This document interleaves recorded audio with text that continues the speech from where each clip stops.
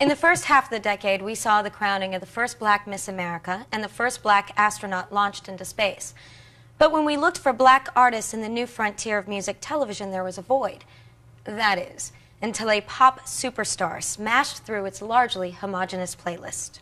It occurred to me, having watched MTV over the last few months, um, that it's, it, it's, got, it's a solid enterprise with, and it's got a lot going for it.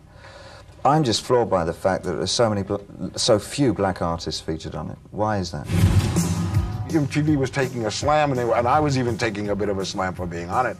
And it was, excuse me, but both. Do you have a chance to watch MTV from time to time? Yeah, there's nothing to watch. When they put some black people on there, you know, I'll watch it. The criteria was you had to be thought of as a rock artist.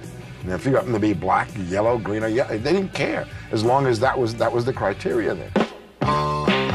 In 1983, Rick James led a public assault on MTV for not playing black artists. Where was Rick James, Super Freak? Where was Diana Ross? Where was Earth, Wind, and Fire? Where was Stevie Wonder? And the fact of the matter was, in the early days, MTV was sort of a rock and roll channel. There weren't a lot of African American rock artists. But MTV's all rock format shattered, and its color barrier broke when the incomparable Michael Jackson released his new videos. videos were an ideal showcase for Jackson, who had grown up in the song and dance Motown scene. That's the background that he came from, you know, having to do those kind of shows, and since he was a child, doing very tight choreography stuff with his brothers. Michael Jackson is such a great performer. He was able to take these routines and then put it in the context of a video. He could dance. Michael Jackson could dance. That's why he was able to use video. All he had to do was have the camera on.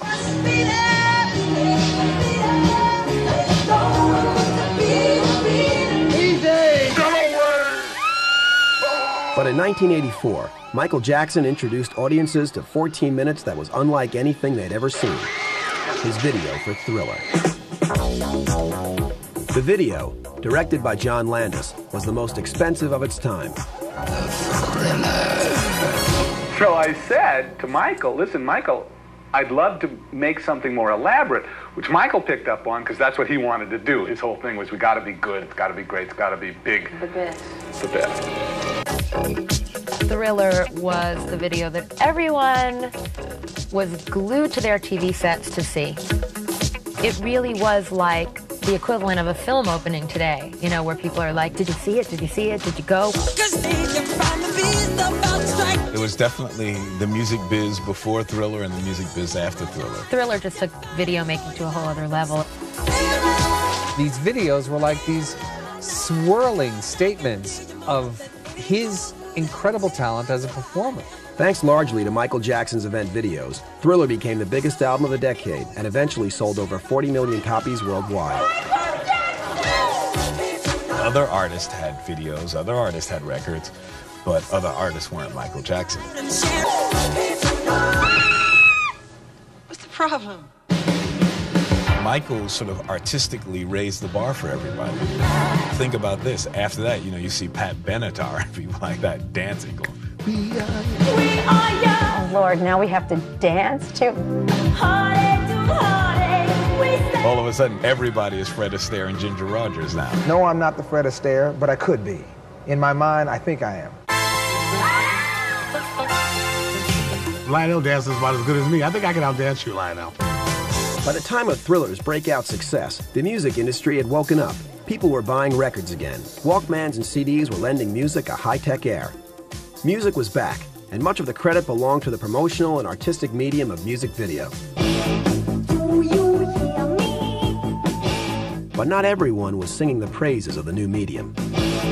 It pissed off a lot of people who were just purely musicians. Uh, you're faking songs. Yeah. I think that's hard. All they can do is just kind of lip sync uh, a song and pretend to play their instruments, and you know, I think that's nah. Some musicians and some people that can make great records and maybe not particularly visually minded might get blown out. You know, so a good record could be killed by a bad video. You know, you talk video killed the radio star. I remember bands like Joe Jackson and Supertramp. When people saw what they looked like, it was over. I'm in the business of making music. I'm not an actor, and I'm not a dancer, and I'm not uh, trying to sell my face.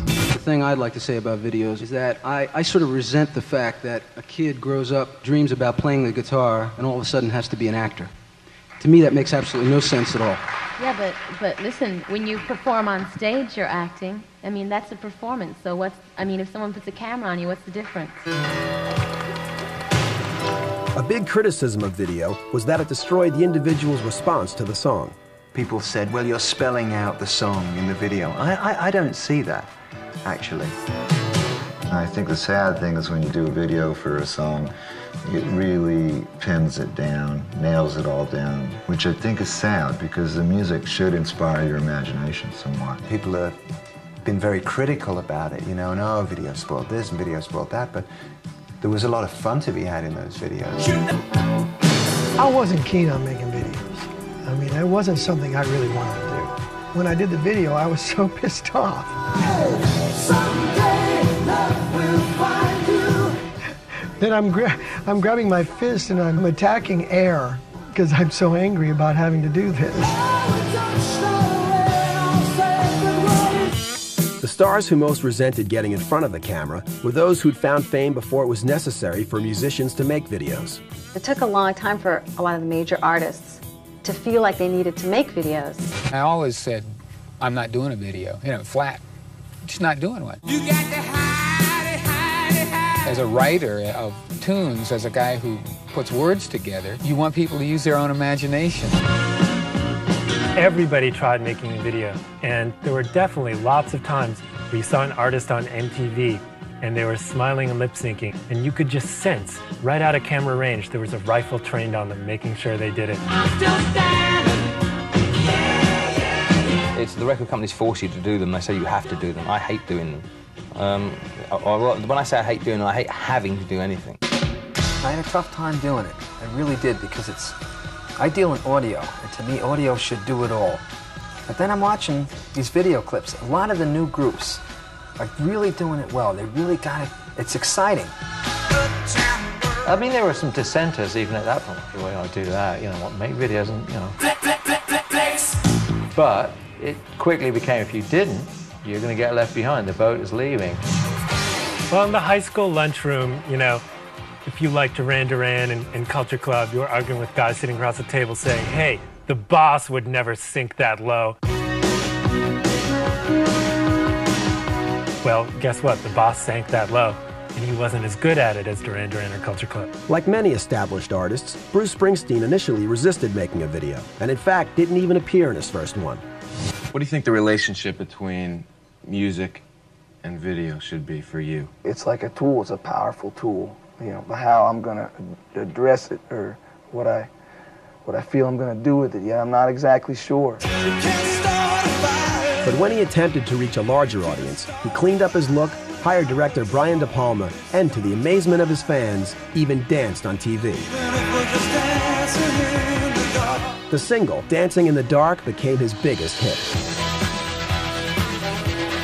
The artists of the 60s and 70s who managed to attract new fans in the 80s were the ones who weren't afraid of video.